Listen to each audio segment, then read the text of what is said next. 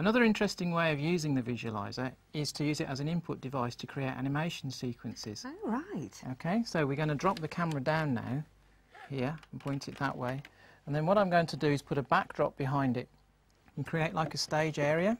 So I'm going to use the lights just to hold that in place.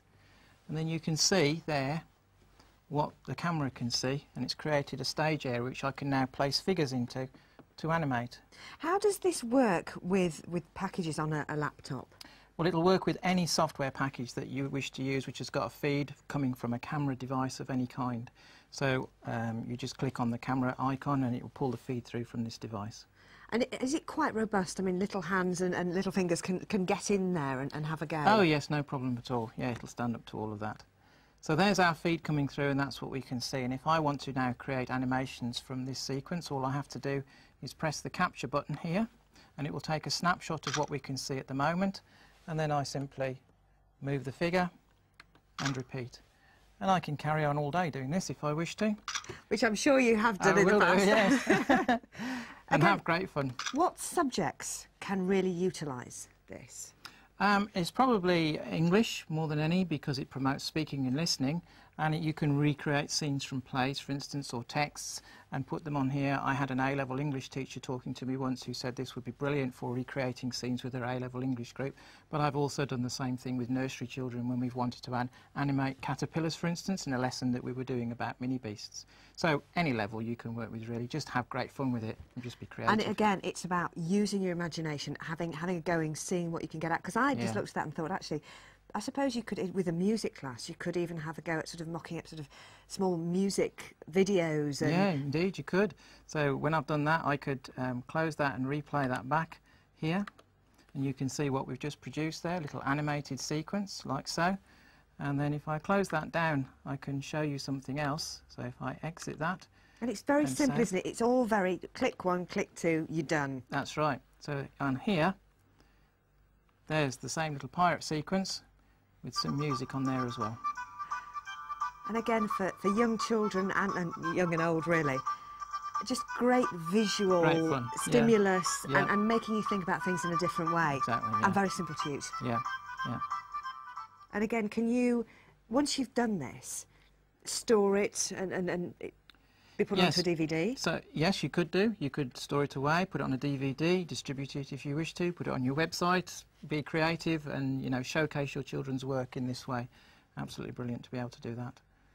On this slide here, you're seeing what I've done is I've taken snapshots and saved them, and then we've put that into a sequence so we could do story writing based on this, either putting um, uh, bubbles coming out of the speech bubbles coming out of the characters' mouths and doing speech, or writing text to go underneath with the story.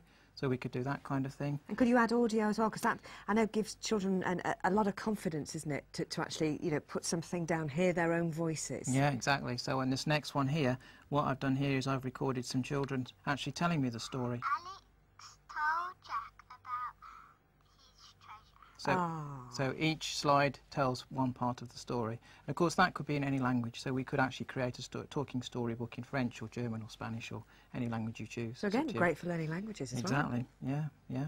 Great fun. And then uh, some other examples that we've got here. Here we've got Pirates of the Caribbean.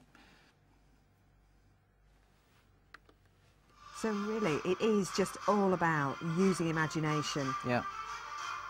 And I suppose you can use figures, you could use...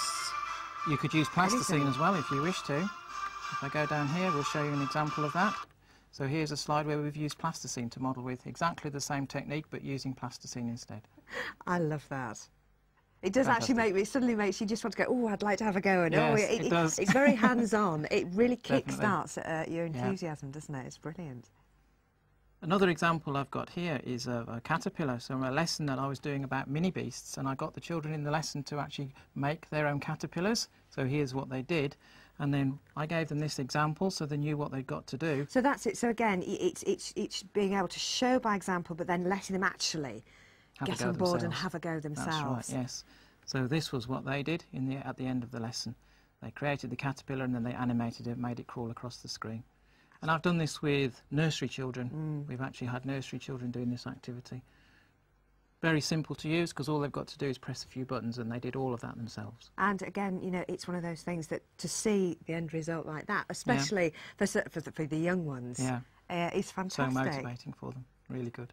If I want to pull an image from the visualizer into a Word document, then if I open up Word here, I can pull a feed straight in from the visualizer and capture an image and pull it straight in, which again makes things nice and easy for me as a teacher because it might be a piece of student's work that I've placed underneath there that I want to show or a page of text from a book or an object that I've placed underneath the visualizer and I want to do some work around that and I want to place it in a Word document.